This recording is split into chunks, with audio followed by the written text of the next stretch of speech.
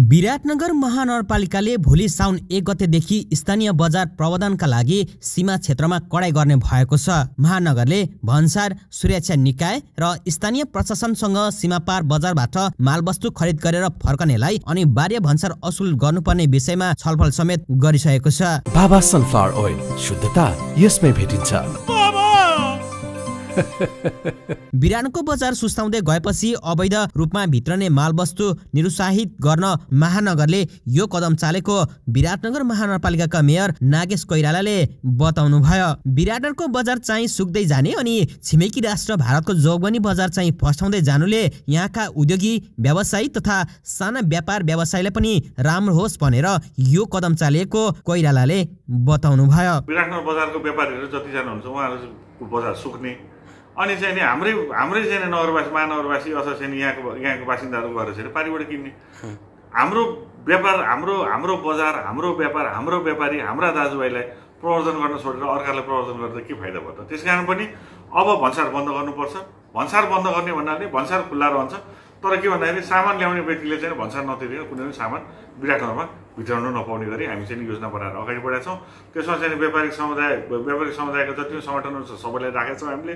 सुरक्षा निकाय राखेका छौँ सिडिओ कार्यालय राखेका छौँ त्यसै गरी चाहिँ आन्तरिक राजस्व कार्यालय राखेका छौँ भन्सार कार्यालयको प्रमुखलाई राखेर हामीले यो निर्णय गरेका छौँ। स्वदेशी व्यापार व्यवसाय विस्तारमा मद्दत पुग्ने गरी स्थानीय सरकारको पहलले उद्योगीहरूलाई पनि केही सकारात्मक सन्देश हुने उद्योगी व्यवसायहरूको आशा पनि छ।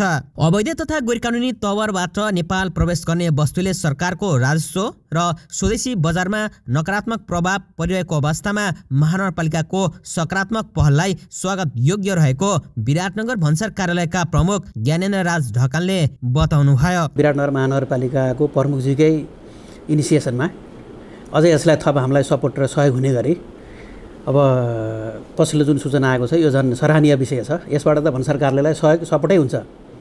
सपोर्टै हुन्छ। यसले गर्दाखेरि जुन महानगरपालिकाले थप इनिसिएसन लिएर स्थानीय बजारबाट मात्रै सामानहरू खरिद गर्नुपर्ने स्थानीय बजारलाई थप प्रमोसन गर्नुपर्ने र कसैले पनि भन्सार महसुल नतिरेका मालवस्तुहरू उपयोग गर्न नहुने नतिरी ल्याउन हुँदैन भन्ने हिसाबले जो सचेतना फैलाउने हिसाबले उहाँले इनिसिएसन लिनुभएको छ। यसको लागि त मैले विराटनगर महानगरपालिका र मूलत त्यहाँको महानगरपालिकाको प्रमुखजीलाई विशेष धन्यवाद पनि दिन चाहन्छु। त्यति मात्र होइन भन्सार प्रमुख ढकालले विराटनगर महानगरले जस्तै अन्य सीमा जोडिएका स्थानीय सरकारहरूले पनि गर्न सके राजस्व सङ्कलनमा राम्रो टेवा पुग्ने बताउनु भयो मेरो अनुरोध त के हो भने सीमा जोडिएका अन्य हाम्रा स्थानीय तहहरूले पनि यस्तै इनिसिएसन लिँदैमा अन्यत्रबाट हुन सक्ने जुन गलत कामहरू पनि रोकिने थिए र त्यसले गर्दाखेरि चाहिँ समग्र भन्सार कार्यालयले अथवा राज्यले प्राप्त गर्नुपर्ने राजस्व उठाउनमा हामीलाई थप सहयोग र सपोर्ट हुन्थ्यो भन्ने अपेक्षा पनि राखेका छौँ। सीमा पारीबाट अवैध रूपमा भित्रने काम निस्तेज गर्न महानगरको यो कदम एक हिसाबले